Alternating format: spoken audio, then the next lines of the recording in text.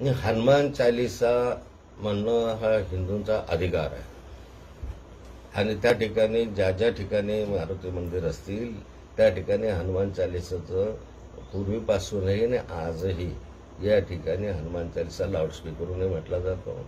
परंतु हनुमान चालिसा म्हणणं ते केव्हा म्हटलं पाहिजे केव्हा केलं पाहिजे काय केलं पाहिजे याला शासनाचे काही नियम आहे. त्या नियमाच्या चौकटीमध्ये राहून प्रत्येकाला त्याची परवानगी आहे. परंतु एखाद्या मशिदीसमोर जर त्या ठिकाणी नमाज नमाजाचं पठण चालू असेल तर जाणीवपूर्वक जर त्या ठिकाणी कोणी लावण्याचा प्रयत्न करत असेल तर ते काही योग्य होणार नाही. समाजामध्ये या ठिकाणी तेढ निर्माण करणं आणि समाजामध्ये असंतोष पसरण्याचं काम करणं यामुळे समाज जीवनावर त्याचे विपरीत परिणाम होऊ शकतात.